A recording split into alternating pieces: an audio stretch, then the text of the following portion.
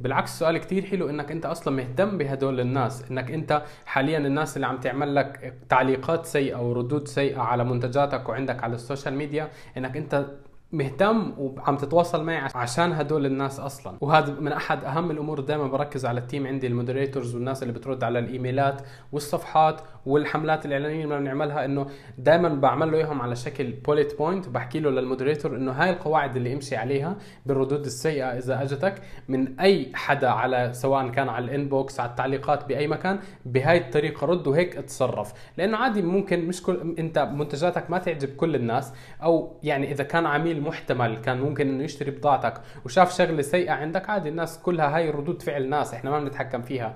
فإذا الشخص هذا أعطاك رد سيء ممكن هو هذا بدل بدل عليه هو إنه هو هيك نظرته أو هو هيك بيعرف يحكي. بس في أشخاص تانية ممكن كمان نطلع منها من زاوية أخرى إنه المنتج تبعك إيه إيه يعني حدا كان بتوقع منك إشي أكثر من هيك أو كواليتي أعلى من هيك ممكن هو كان راسم بباله إشي معين. ولما وصله منتجك مش زي اللي متخيله فممكن يعود عليك بتعليق سيء. بس بالمقابل التعليق السيء السيء هذا مفيد لك إنك أنت أصلا تطور من حالك وهو لو إنه مش مهتم فيك كان ما أعطاك هذا التعليق السيء.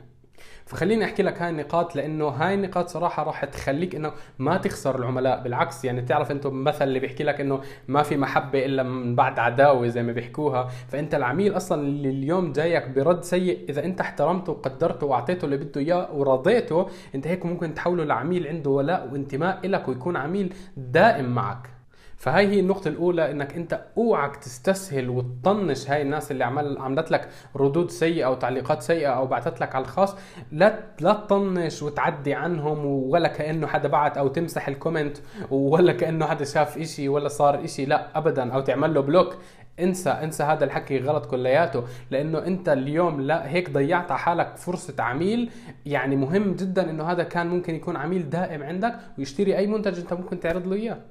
والقاعدة الثانية هي إنك أنت ما ترد عليهم وأنت وأنت معصب أو ما ترد عليهم تحسسهم إنه لا أنت على أساس بتحكي معي هيك؟ أو على أي أساس إنه بتحكي بالطريقة هاي؟ لا أنت احكي معهم بصيغة بصيغة محترمة بصيغة امتص غضبه عادي اعتبره إنه شخص عم بخانق فيك بالشارع زمر لك بالسيارة ونزل بده يخانقك. نفس الشيء امتص غضبه احكي معه باحترام كل اللي بدك إياه لك تكون راضي من الحكي وبالتالي خده على الإنبوكس واحكي معه شوف شو المشاكل اللي عنده خد الفيدباك منه وبس أهم شيء إنك ما تتعامل معه بنرفزة وعصبية وهيك. وأنا عارف إنه في كتير ناس أحيانا إنه أسلوبها نفسه أصلا بيكون مستفز لك أنت.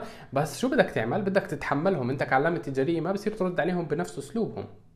والقاعدة الثالثة أصلا هي إنك قبل ما أنت ترد على هذا الشخص أو ترد على التعليق اللي هو حط لك إياه لا روح بالأول افهم شو هي المشكلة شو هو أصلا السبب اللي خلاه يعلق هذا التعليق. إذا في كان سبب معين اعرف شو هذا السبب عشان تجاوبه جواب صح لأنه هو حاليا عارف إنه استفزك فهو هلأ مستني أصلا منك ردة فعلك okay؟ فأنت بالمقابل لازم تكون ردة فعلك كثير ذكية وتعرف شو الجواب اللي بدك تجاوبه إياه. فبالتالي كيف بدك تعرف شو بدك تجاوبه؟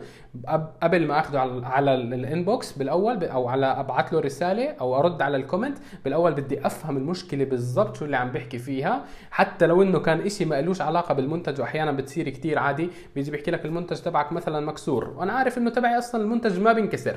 مصنوع من عظم مثلا أو من بلاستيك مقوى اللي هو بينكسرش. بيجي بيحكي لك مكسور رجع لي فلوسي بدي refund أنا. وأنت عارف إنه ما بينكسر. مثلا هاي أحد الأمثلة. بتصير كثير بس افهم عن جد شو شو السبب المشكلة. ممكن قصده بمكسور شغله ثانية فافهم شو السبب الأول بعدين أنت احكي معه وحل هالمشكله والقاعدة الرابعة اللي هي عامل الوقت. ما بصير إنك أنت تسيب ال comments فترات طويلة حتى لو إنه كان رد سلبي أو تعليق سيء بالنسبة لك ما بصير تتركه فترات طويلة كتير. يعني مباشرة أول ما عرفت شو السبب زي ما حكيت لك بالقاعدة اللي قبلها مباشرة روح ابعث له message مباشرة تفاعل معه okay؟ لا تسيبه أطول فترة ممكن كمان لأنه هذا الحكي بضرك لأنه ممكن يعني هون احتمالات إنه العملاء الثانيين يقرأوا ال comment تبعه بدون ما يشوفوا رد منك عليه هذا احتمال حيكون أعلى وأكبر هيك. فأنت بالتالي لازم تجاوب عليه بسرعة لازم الموضوع كله يكون يعني بأسرع وقت ممكن. بنفس الساعة أنت خلص تفهم شو المشكلة تحل هاي المشكلة تروح ترد عليه تتفاعل معه ترضيه تحاول إنه إذا كان في مجال يمسح التعليق السيء يمسحه إذا كان في مجال أصلا ما يمسحه